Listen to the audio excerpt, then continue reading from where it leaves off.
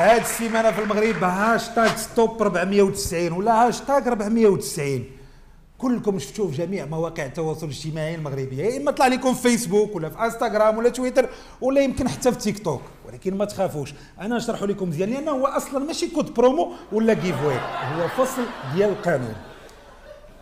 490 كيقول في القانون المغربي بلي كل علاقة جنسية بين رجل وامراه لا تربط بينهما علاقة الزوجية تكون جريمة الفساد ويعاقب عليها بالحبس من شهر واحد إلى سنة. غادي نشرحها لكم بطريقه أخرى. يعني إذا كان هذا القانون 490 باقي كاين غادي يكون أي راجل مع امرأة مشاو كراو بورتما باش يديروا علاقة جنسية ووقفوا عليهم صحاب الحال غادي يشدوهم وغيديهم يحاكموهم ويقدروا يشدوا في الحبس بين شهر حتى العام.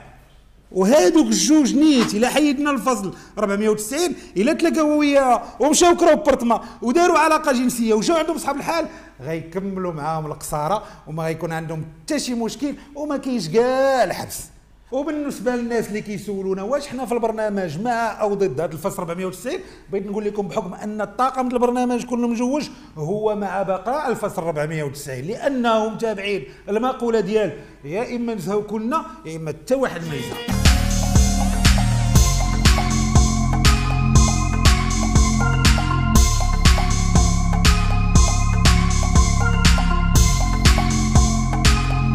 وحيت الموضوع غادي وكيكبر. أكيد البرلمان المغربي غادي ياخذو كقضية رأي عام في العادة الشهرية ديالو. Always خلي ايامك ولا أحلى ولا الجلسة الجلسة الشهرية ديالو. عندك 16 دقيقة. قالوا لي عندي عشرين.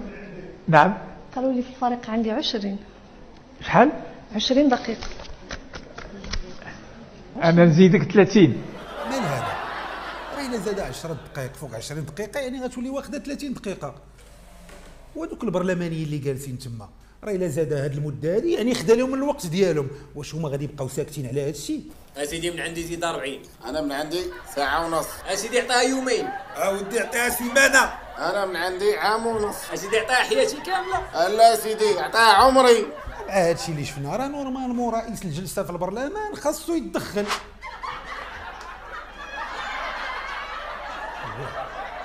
أنا قلت لي قضيه مرونة عندهم.